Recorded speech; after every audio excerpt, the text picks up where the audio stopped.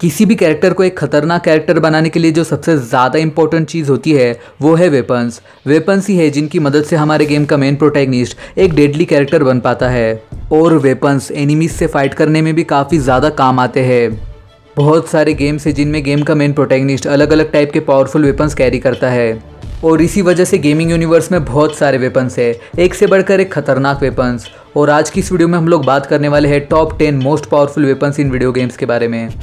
Video start करने से पहले मैं आपको एक इंपॉर्टेंट बात बता देता हूँ कि एक गेम से सिर्फ़ एक ही वेपन को लिया जाएगा। सो so, वीडियो बहुत ज़्यादा इंटरेस्टिंग होने वाली है। वीडियो को एंड तक देखना। वीडियो पसंद आने पर वीडियो को लाइक करना। और अगर आप मेरे चैनल पर नए हो तो चैनल को सब्सक्राइब करना मत भूलना। साथ ही साथ ऑप्शन में से ऑल का ऑप्शन भी सिलेक्ट करना ताकि आपको मेरी वीडियो की नोटिफिकेशन सबसे पहले मिले। So without for the loop less jump to the video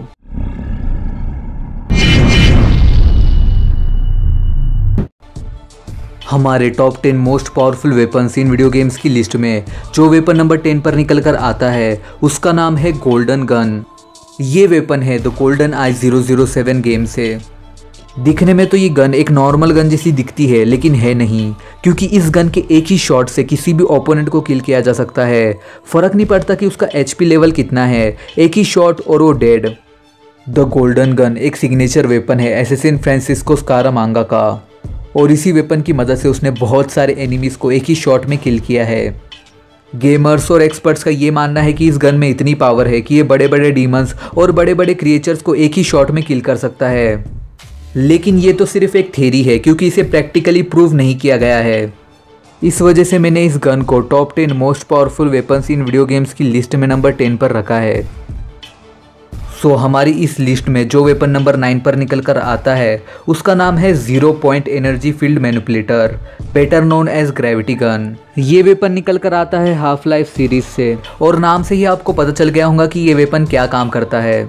इस वेपन की मदद से आप कुछ हद तक ग्रेविटी को कंट्रोल कर सकते हो, जो कि अपने आप में एक काफ़ी बड़ी बात है। पूरे गेम में आप इस गन की मदद से किसी भी ऑब्जेक्ट को उठाकर यहाँ से वहाँ फेंक सकते हो। इस गन में एंटी ग्रेविटी लॉ अप्लाई होता है। इसी की वजह से आप बड़े बड़े ऑब्जेक्ट्स को भी यहाँ से वहाँ उठाकर फेंक सकते हो। फ़र्क नहीं पड़ता कि वो ऑब्जेक्ट कितना बड़ा है और कितना हैवी है। ग्रेविटी गन की मदद से आप उस ऑब्जेक्ट को उठाकर यहाँ से वहाँ फेंक सकते हो। इनफैक्ट ऑब्जेक्ट्स को आप आपके ओपोनेंट के ऊपर भी फेंक सकते हो। और जब ग्रेविटी गन सिटाडेल के कॉन्फिस्केशन फ़ील्ड के कॉन्टेक्ट में आई तो ये गन और भी ज़्यादा खतरनाक बन गई थी। और वेपराइज होने की बजाय ये गन सुपर चार्ज हो गई थी। इसी वजह से ग्रेविटी गन और भी ज़्यादा खतरनाक बन गई थी। इसके पास कैपेबिलिटी आ गई थी कि ये अलग अलग टाइप के अटैक्स दे सकती है। और इन्हीं सब चीज़ों को मद्देनज़र रखते हुए मैंने इस ग्रेविटी गन को हमारे top ten weapons in video games की लिस्ट में नंबर नाइन पर रखा है। सो so, जो वेपन हमारी लिस्ट में नंबर एट पर है उसका नाम है B F G nine thousand अब इस वेपन का नाम इस लिस्ट में कैसे नहीं आता? ये गन डूम सीरीज़ की सबसे पावरफुल गन है। ये गन दिखने में तो एक लार्ज सॉलिड मेटल गन है, जो कि फायर करती है large balls of green plasma 40 cells पर blast B F G nine thousand अब यहाँ पर बी एफ़ जी का फुल फॉर्म है बिग फकिंग गन जैसा नाम, वैसा काम, क्योंकि ये गन इतनी खतरनाक है कि ये बड़े बड़े डीमंस और बड़े बड़े मॉन्स्टर्स को डिस्ट्रॉय करती है।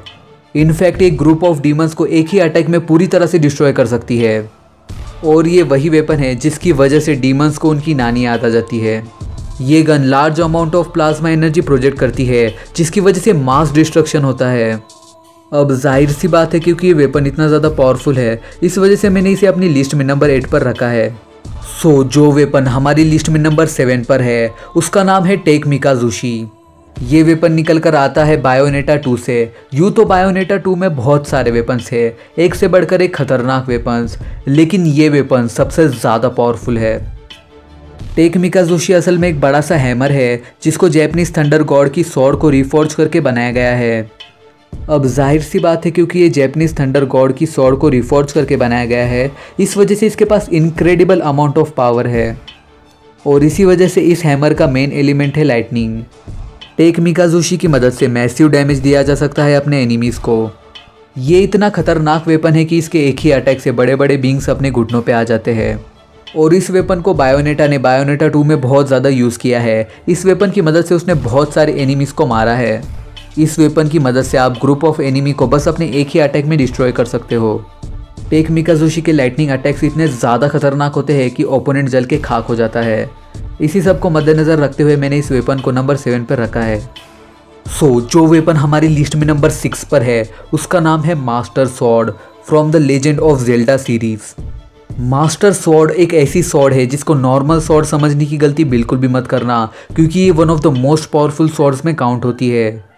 सो so, मैं आपको बता दूँ कि एक ऐसी सॉर्ड है जिसकी मदद से डार्कनेस को ख़त्म किया जा सकता है यानी कि ईवल एंटिटीज़ और ईवल फोर्सेस को डिस्ट्रॉय किया जा सकता है।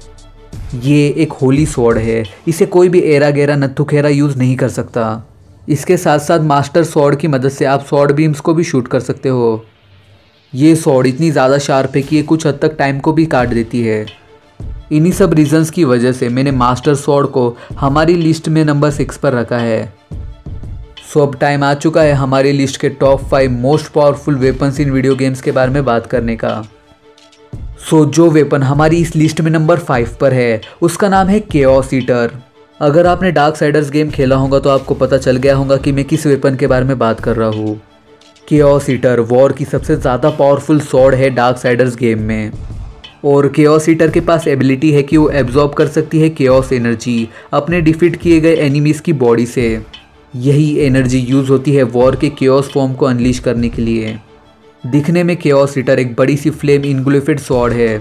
और ये सॉर्ड बन जाती है L golfing hellfire to bloody carnage इस वेपन की मदद से बड़े बड़े मॉन्स्टर्स और बड़े बड़े क्रिएचर्स को डिस्ट्रॉय किया जा सकता है। और ये हमने डार्क साइडर्स गेम में भी देखा है। वॉर इस सॉर्ड की मदद से बहुत सारे एनिमीज़ को ख़त्म करता है। क्योसिटर में इतनी पावर है कि आप इस सॉर्ड को यूज़ करके large group of monstrous creature को बस एक ही स्ट्राइक में ख़त्म कर सकते हो। और इन्हीं सब रीजंस की वजह से मैंने क्योसिटर को हमारी लिस्ट में टॉप फाइव पोजीशन पे रखा है।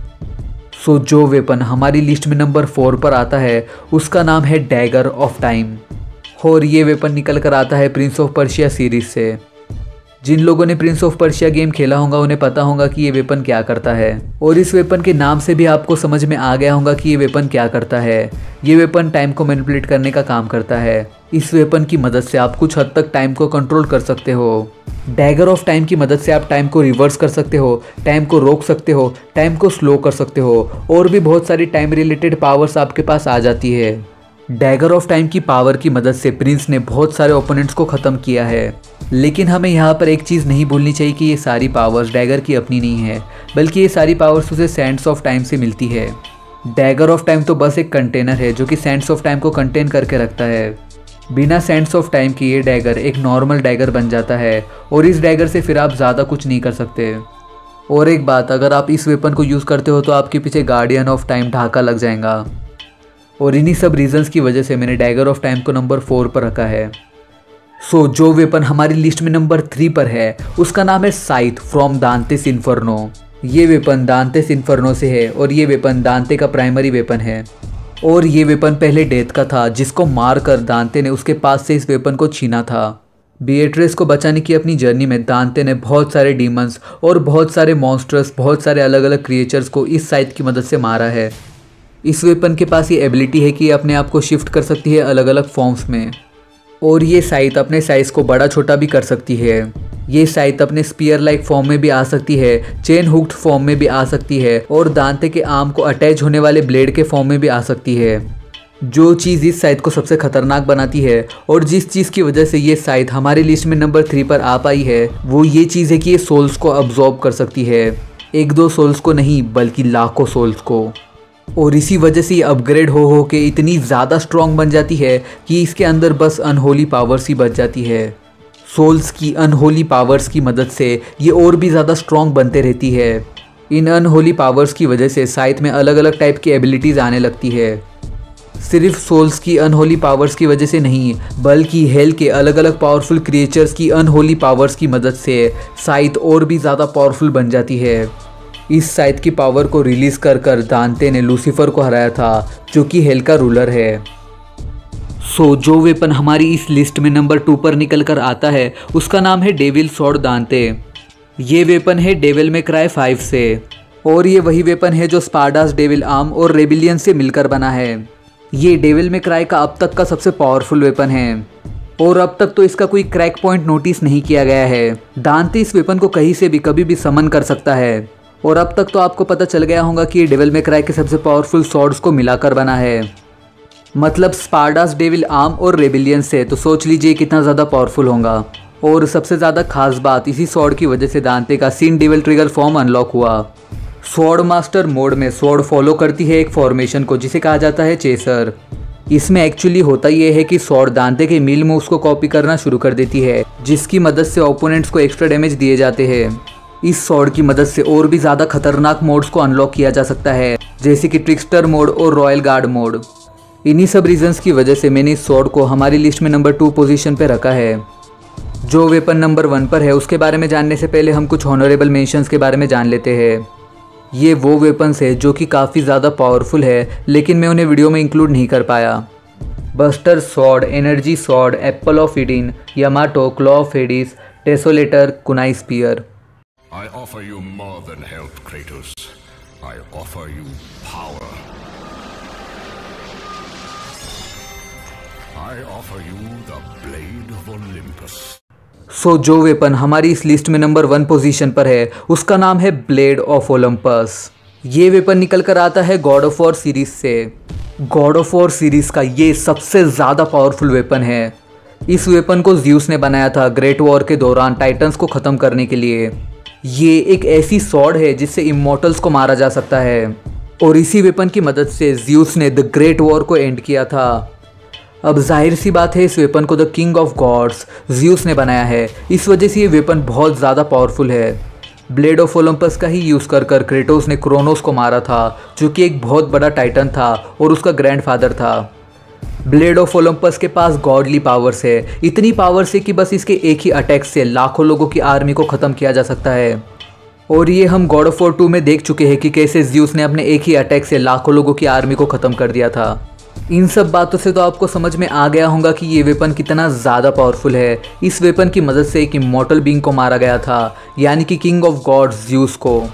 और इन्हीं सब रीजंस की वजह से मैंने ब्लेड ऑफ़ ओलंपस को नंबर वन पोजीशन पे रखा है। और हाँ जिन वेपन्स का नाम मैंने इस वीडियो में इंक्लूड नहीं किया, उन वेपन्स के बारे में आप मुझे कमेंट सेक्शन में बता सकते हो। और अगर मुझे आपका कमेंट सही लगा तो मैं आपके कमेंट को मेरी अगली वीडियो में फीचर करूँगा। सो so, बस आज की इस वीडियो में इतना ही। आई होप कि आपको वीडियो पसंद आया होगा। वीडियो पसंद आने पर वीडियो को लाइक कीजिए। और अगर आप मेरे चैनल पर नए हो तो चैनल को सब्सक्राइब करना मत भूलना।